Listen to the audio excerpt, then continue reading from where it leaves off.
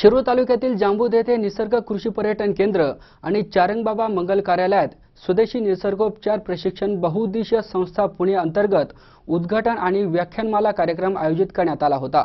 यावेळी कार्यक्रमाचे अध्यक्ष माजी आमदार पोपटरावजी गावडे यांनी आपलं मत व्यक्त केलंय. कार्यक्रमाचे सूत्रसंचालन प्राध्यापक शाकराव कोरडे तर आभार शिवाजी गागरे यांनी मानलेत.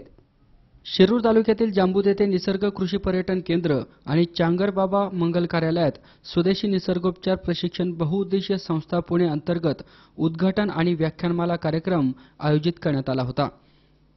यावेळी कार्यक्रमाचे प्रमुख पाहुणे आणि मार्गदर्शक व्याख्याते डॉक्टर हेमंत बाफना दिलीप नहारसह आदी मान्यवर उपस्थित होते.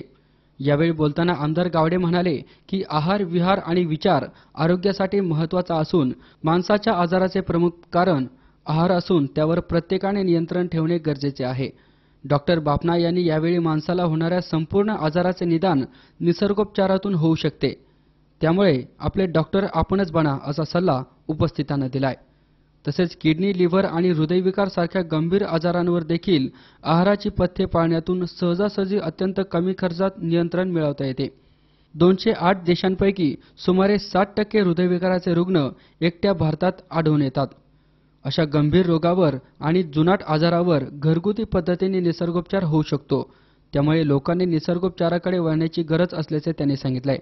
यावेळी अनेक मान्यवरांनी आपले विचार मांडलेत.